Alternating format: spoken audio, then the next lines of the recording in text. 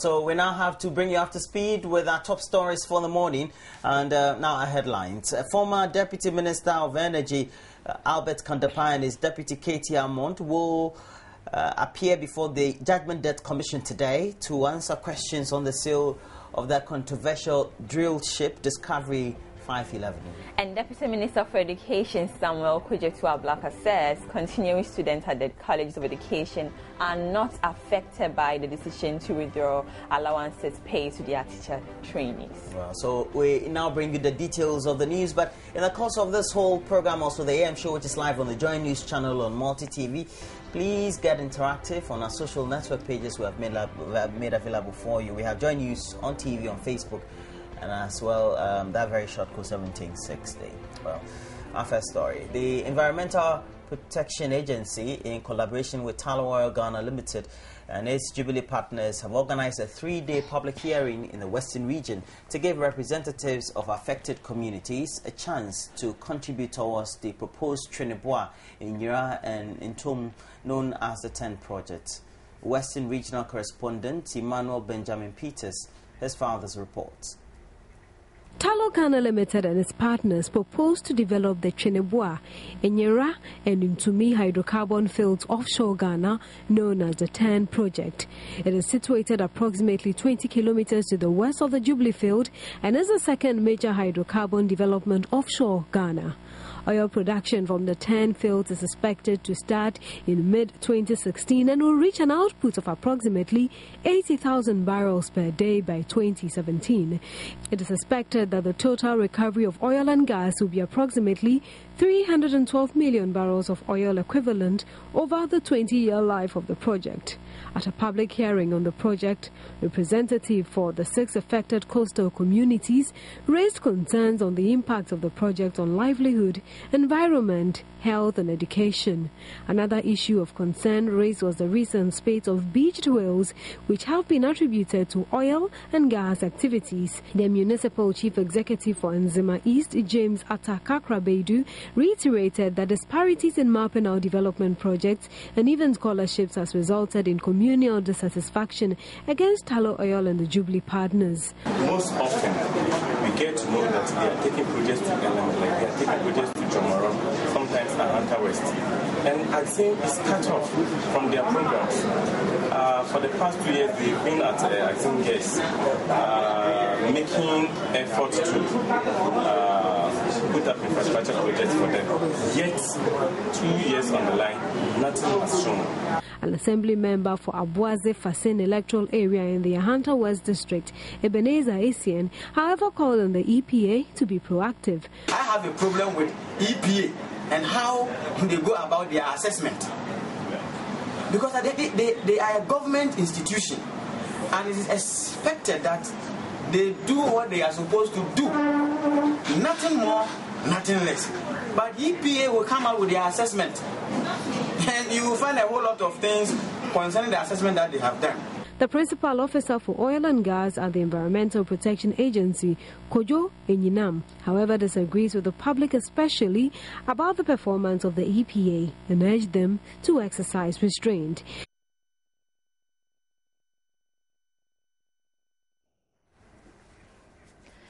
Minister of Energy Honorable Albert Kan-Dapaah and his deputy Katie Hammond under the Kufuor government will on today, Monday, appear before the Judgment Debt Commission to answer questions on the sale of the drill ship Discovery 511. The ship was sold to pay a judgment debt awarded against the Ghana National Petroleum Corporation, that's the GNPC, to Societe Generale over the execution of the contract. The commissioner has raised a number of questions over the sale of the ship and the role of um, Bank of Ghana and the public record the sale.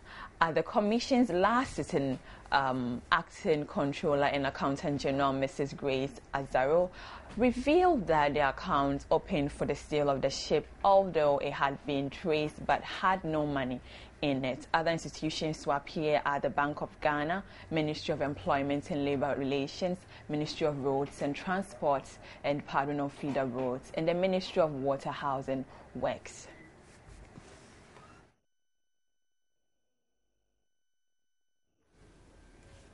Over 3,000 persons living at Lante, it's a suburb of Dobronia in Sawam, risk being rendered homeless from today, November 25, 2013, as landowners in the Nsawam Adoagyiri municipality have served notice to pull down their structures. This is also to allow a private stone quarry to commence operations, even though the news team gathers its lease over the land has so far expired. Yafoswa Jemfi, who visited the community, reports the residents are kicking against their decision to pull down their structures, arguing their documentation to prove they are legally owned um, or to prove that they legally own their lands. It's said to have been allocated to Cobblestone Quarry Company, and residents are, however, worried about the new development of land langas patrolling the area and threatening their lives. Some residents we met on Saturday afternoon had packed their bags ready to leave the community because they are being harassed by land guards. Margaret Domenyo, a pregnant woman, is almost due for delivery. She tells me though she's against the idea of leaving the community, she has no option. landard foɔ no yɛsɛ yɛfrɛ obi solo solo ɔno na ɛdi saa adwuma no wɔ saa kurom ha ase ɛsɛ wo mewɔ dɛm kora na wobɛbɔ pono kora mesuro mesuro si ma bɛbie dan no because ɔmo sɛ ɔmbɛbɛ de bi ɔmbɛtumi aba ne time Apparently, the battle over ownership of the land has been raging for three years now. In spite of this, residents say they first received notice to vacate their lands just about three months ago from the district assembly. The notice signed by the Assembly's Assistant Director has been served to over 105 buildings within the 100 meter radius of the quarry site to vacate the premise. Two other notices dated October 7 and 14, 2013, signed by Ishmael Aite, supposedly the head of the Aite family, owners of the land, warned residents to vacate the area by November 25, 2013. But some members of the Aite family tells Joy News they are against the siting of the stone quarry in the area. Yeah,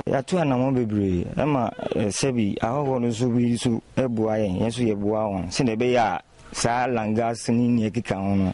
Ayɛ dɛn ɛmba so wɔ ha because first na nti saa wɔ ba yɛn nua baako bi a waba ɔno na ɔde langas no ɛyɛ adwuma. Nti yɛyɛ yusu langard wɔ ha. Ɛsisi a yɛha de biribiara ma police. Ahɔhoɔ no ɔmo ka ma kuma nto ɔmo yam. Na aboɔ no ɛnyɛ adeɛ a ɛbɛyɛ dɛn ɛbɛba so. Abusuafoɔ ta ɔmo akyi. Nti ɛnyɛ adeɛ ɔmo bɛba so.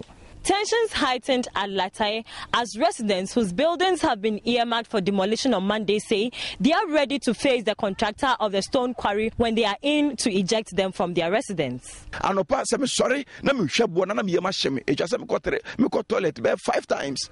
Ansa na mekom atɔ meyam ɛti no yɛsrɛ aban sɛ ɔmmra no mɛboa yɛn ɔse structures ebi a moba yɛ mobɛhu sɛ kiosks ɛna ɛsi so so yellow blue ɛne uh, kiosks ɛna ɛsi so so blue kiosks ɛna esisi so.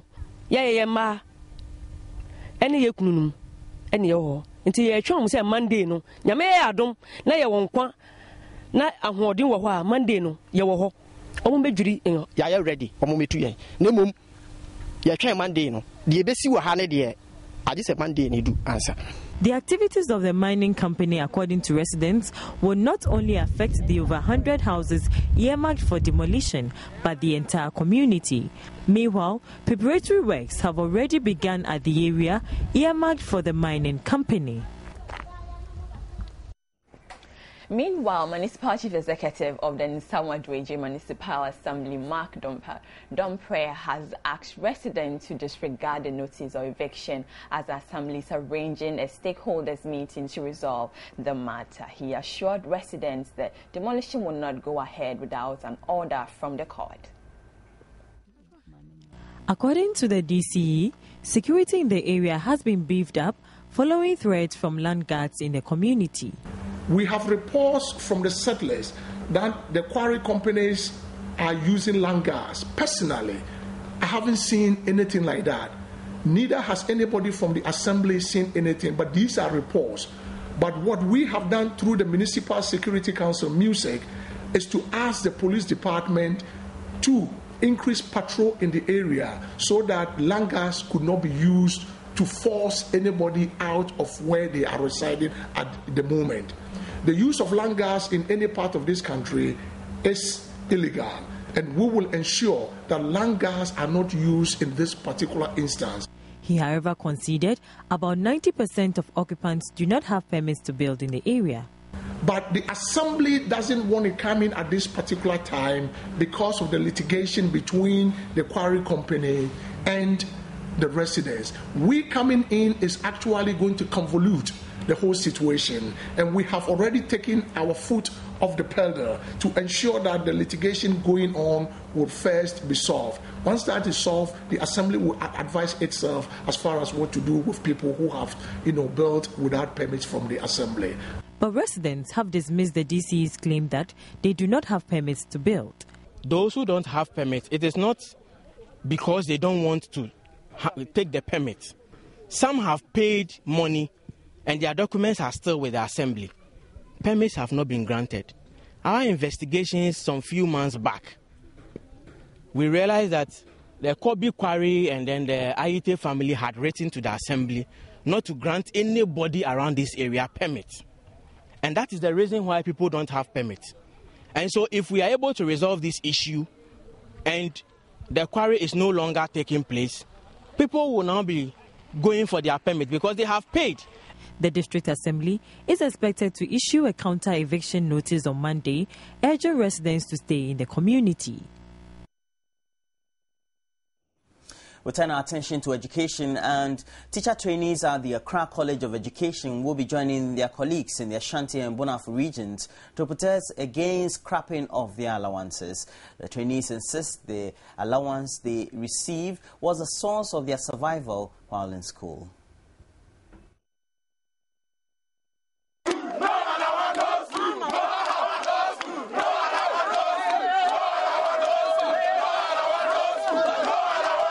The teacher trainees intend to pressure government to restore their allowances. We are starting Tuesday. We are going to put on red armbands to class to, to send the message across to the government that we are serious about this issue and the government needs to address it. And if the government does not respond after taking that measure, then we'll go on a sit down strike. We'll not allow any tutor to come to class and we won't learn. They say removing the allowance most of them are dependent on will affect their studies. We agree with the government with some of the reasons given, but scrubbing it off entirely, no. It's really going to affect us. So we get even half of it, we are okay with it. Another reason the government gave was the fact that they want to um, upgrade those tertiary institutions where you be awarded degrees. So if you have been awarded a degree, someone in the University of Education, Unified is getting a degree, University of April is getting a degree, and they are not getting allowances. Why do you think you deserve allowances? Well, you know, we are a special type of um, tertiary institution because here in our colleges of education, before you go out, you need to get exeat, which is not happening in other college, um, other tertiary institutions. We do our own weeding and all that, which is not happening at other colleges, um, sorry, tertiary institutions. After our education here, we are posted to stations where you are to serve a mandatory number of years, but in other tertiary institutions, it's not happening there. So we are a special type of institution and we need the allowance, we deserve the allowance. According to the student president, they are yet to receive response from government after the national executives petitioned government to reconsider its decision. The policy to withdraw the allowances, however, is only applicable to new entrants. Continuing students in colleges of education will not be affected. Meanwhile, the Deputy Minister of Education, Samuel Okudzeto Ablakwa, has said the quota system, which had been in existence for almost three decades, had become inimical to the progress of teacher education, hence the decision to remove it. He said government had increased the allocation for the Student Loan Trust to support teacher trainees who require financial assistance. So that'll be it for the news update on the AM show, which is live on the Joy News channel of Multi TV. Now, our top headlines for the morning. Former Deputy Minister of Energy, Honorable Albert Kan-Dapaah, and his deputy Katie Hammond will appear before the Judgment Debt Commission today to answer questions on the still the drill ship Discovery 511. In education, uh, Deputy Minister of the sector Samuel Okudzeto Ablakwa says continuing students at the colleges of education are not affected by a decision to withdraw allowances paid to teacher trainees. Uh, so that's it for the morning. Next, we bring you AM Sports, and it also includes all the weekend sports highlights.